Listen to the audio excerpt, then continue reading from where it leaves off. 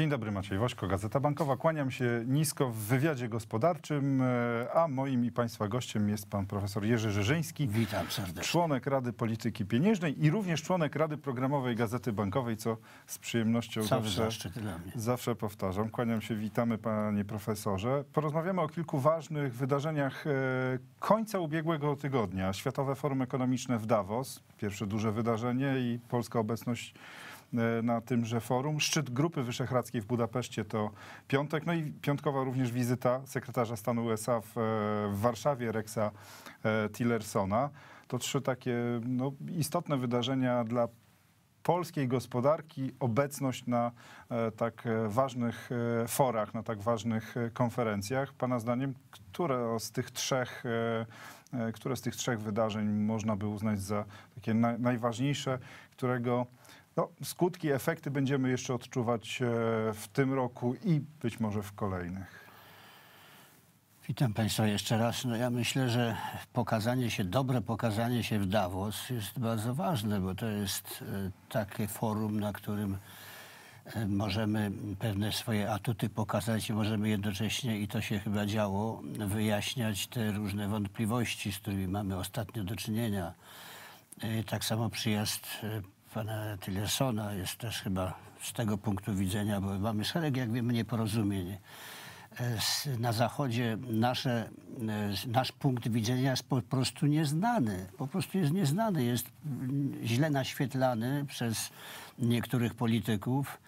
Natomiast rząd m, miał tutaj okazję, żeby y, porozmawiać w tych istotnych kwestiach i myślę, że to dało się nawet zauważyć w pieniądzu, prawda? Bo złoty się zaczął umacniać. Niedawno, niedawno było 2,17 za euro, teraz m, dzisiaj było rano 2, trz- e, 4,17, teraz 4,13.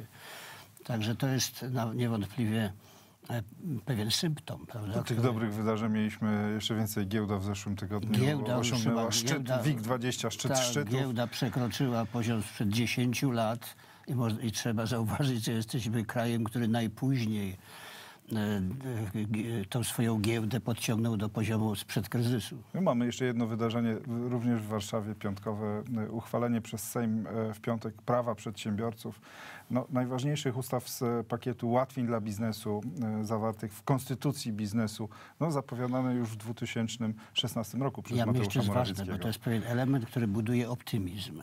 Optymizm idzie jakby z dwóch kierunków. Pierwszy kierunek to jest no, ruszenie popytu, bo dla przedsiębiorców najważniejsze jest, e, aby, aby, aby wspierać koniunkturę. Od strony popytu koniunktura jest wspierana niewątpliwie. A z drugiej strony te warunki prawne, żeby przedsiębiorcy mieli e, pewną e, gwarancję tego, że będzie się działać w kierunku wyjaśnienia różnych problemów, które istnieją. Chcę przypomnieć, że pani minister finansów wspomniała, że będzie też rzecznik podatników, prawda, że taki urząd powstanie. I to jest też niezmiernie ważne, bo powinniśmy płacić podatki. E, Ja uważam, że jest to kwestia kluczowa dla stabilności finansów publicznych i dobrego funkcjonowania państwa, żebyśmy rozumieli to, że dobre funkcjonowanie państwa zależy od tego, ile my, obywatele, oddamy na jego dobre funkcjonowanie, ale żeby nie było sporów i nieporozumień, istnienie takiego urzędu rzecznika podatnik, podatników jest niezmiernie ważne. No, pojawia się jeszcze rzecznik małych i średnich e, przedsiębiorców, Tak, e, tak. więc no, No, bo to jest rzeczywiście... szczególna, można powiedzieć, nisza. No, ja jestem tutaj trochę sceptycznie nastawiony do tej narracji, która istniała od wielu lat, budowania małych i średnich przedsiębiorstw. Oczy- Oczywiście one są potrzebne i trzeba im stwarzać warunki, ale siła gospodarki tkwi przede wszystkim w dużych przedsiębiorstwach, w koncernach, tam gdzie ta największa część wartości dodanej w całej gospodarce powstaje. A to niestety z powodu błędów ewidentnych błędów polityki gospodarczej, kiedy mówiono, że najlepiej, kiedy nie ma tej polityki gospodarczej, prawda? Otóż skutkiem tych błędów było to, że utraciliśmy bardzo wiele no, lokomotyw rozwoju gospodarczego, czyli, dużych przedsiębiorstw. Kiedyś budowano takie e, prawie koncerny e, i te koncerny zostały, można powiedzieć, rozproszone, częstokroć nawet zlikwidowane. I to jest... I i teraz trzeba iść w kierunku, i to prawda, premier Morawiecki zapowiada, że będziemy jakby tą reindustrializację, ale w tym sensie, że odbudować siłę dużych polskich firm i koncernów. Duża reprezentacja polskiej gospodarki e, w Davos, e, między innymi poza panem prezydentem Andrzejem Dudą, który spotkał się z e, Donaldem Trumpem w Szwajcarii, również w spotkaniach brał udział premier Mateusz Morawiecki, również w Davos obecny był prezes Narodowego Banku Polskiego, pan profesor Adam Glapiński. I jeden, tem, jeden temat, mam wrażenie, tam wysunął się w wypowiedziach również wszystkich trzech panów na plan pierwszy.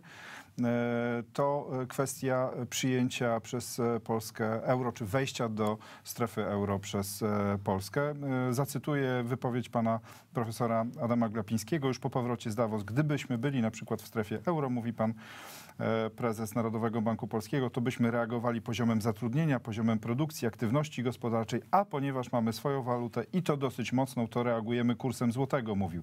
Zaznaczył, że podziela zdanie swojego poprzednika Marka Belki, że wejście do strefy euro w ewidentny sposób by nam ekonomicznie w tej chwili przynajmniej nie służyło. Podziela pan to zdanie? Oczywiście. Bank, e, Narodowy Bank Polski jest e, wstrzemięźliwy tutaj w parciu do strefy euro, jak niektórzy ekonomiści proponują. Otóż chcę e, przypomnieć, że posiadanie własnej waluty jest pewną barierą ochronną dla gospodarki. E, Jest bardzo ważną, niedostrzegano przez niektóre kwestię to, że kurs rynkowy jest znacznie słabszy od kursu e, tak zwanego parytetu siły nabywczej. Czyli siła nabywcza jest większa niż to wynika e, z kursu rynkowego, co wspiera gospodarkę w gruncie rzeczy, czyli pozwala uzyskać większe korzyści z eksportu, a jednocześnie wahania tego kursu stanowią pewną barierę ochronną w sytuacji kryzysowej. No, chcę przypomnieć, że napisałem świetną książkę e, Józef Stiglitz na ten temat, a niektórzy jakby nie zauważają tych problemów, które się e, wiążą można powiedzieć, ze złym i przedwczesnym w niektórych obszarach zainstalowaniem wspólnej waluty w Europie. Zwłaszcza, że Europa jest w ewidentnym kryzysie e, politycznym, em, co też wybrzmiało w, em, na e, szczycie Grupy Wyszehradzkiej w Ja, Budapeszcie. Jeżeli pan pozwoli, to jeszcze dodam tej kwestii. E, Otóż mamy właściwie obecnie prawie równowagę e, w handlu zagranicznym, w rachunku bieżącego, a mamy tą równowagę właśnie dzięki temu, że złoty jest słabszy niż siła, jego siła nabywcza. Umocnienie złotego spowodowałoby gwałtowny spadek opłacalności eksportu i w rezultacie popadnięcie w deficyt e, handlowy. Także utrzymywanie tej słabszej waluty jest korzystniejsze. Jakbyśmy weszli do strefy euro, to stracimy ten atut.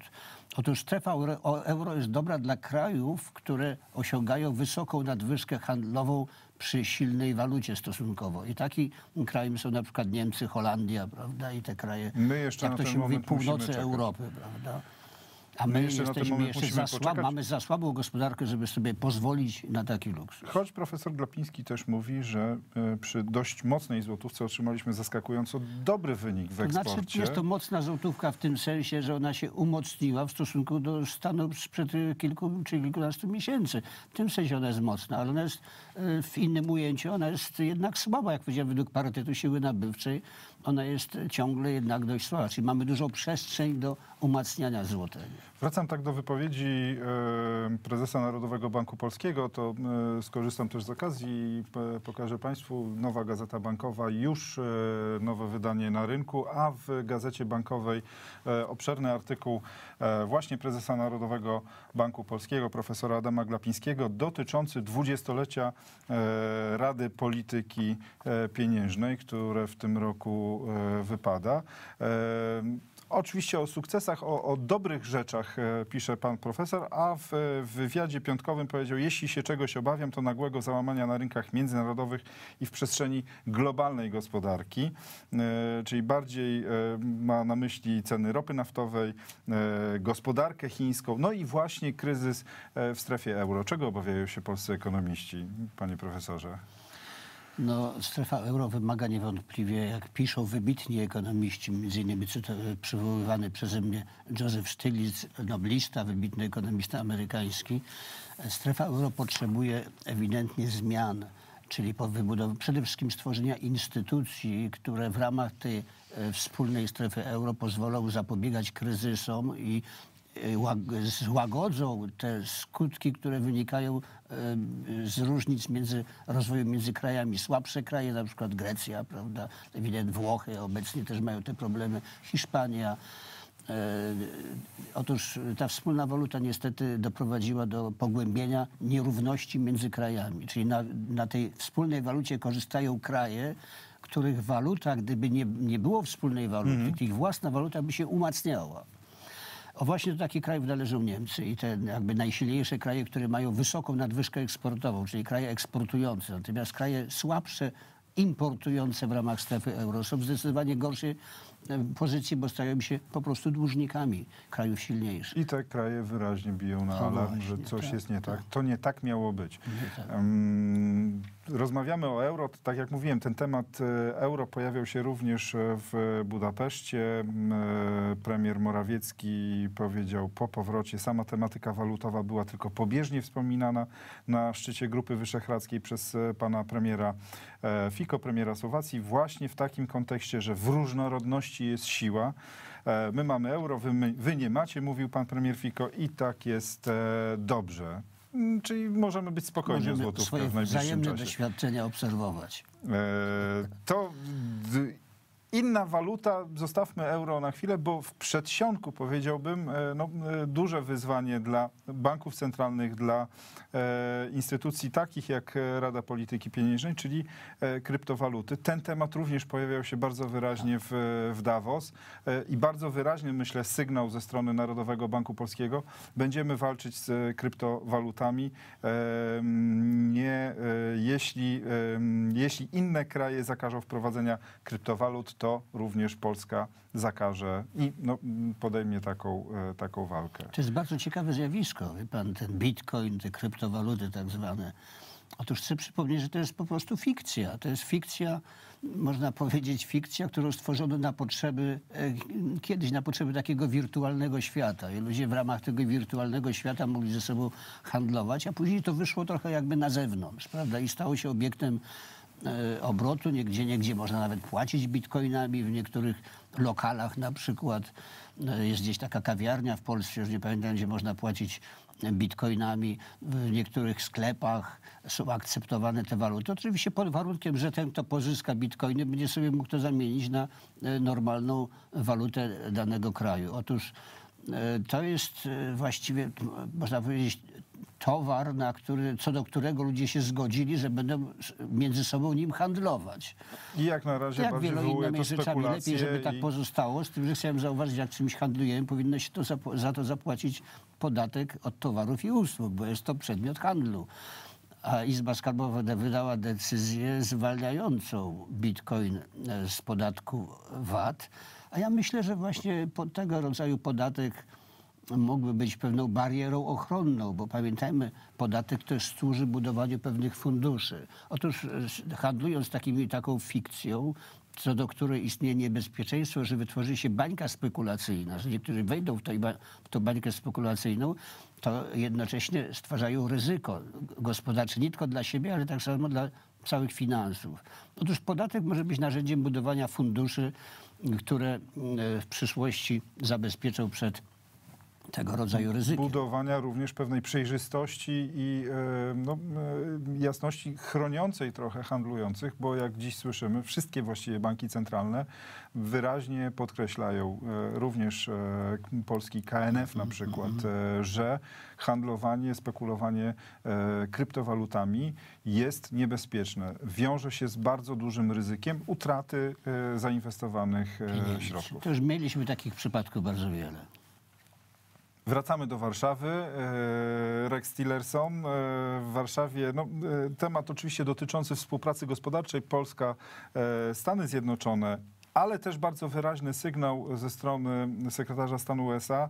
E, Nord Stream 2 nie jest projektem popieranym przez Stany Zjednoczone. Co więcej, Polska zyskuje, mam wrażenie, dużego e, sprzymierzeńca w, w, w tym sporze dotyczącym e, budowy gazociągu z Rosji do Niemiec. Em, Ale mam wrażenie, jakby szukam tego, tego podsumowania, już zbliżając się do końca, że i ta wizyta, i nasze wizyty w, w Budapeszcie e, i w Davos e, dają takie poczucie, no, że te opowieści o rzekomej izolacji Polski na arenie międzynarodowej i takim w związku z tym, że coś, coś ponoć niedobrego się w Polsce dzieje, to trochę, trochę spaliły na panewce. No świetnie pan to podsumował, bo to wszystko świadczy o tym, że Polska ma się dobrze i stan pieniądza odzwierciedla tenże stan rzeczywistości, czyli dobrego stanu polskiej gospodarki, jednocześnie e, naszych kontaktów z najważniejszymi stronami e, e, z zagranicy. Także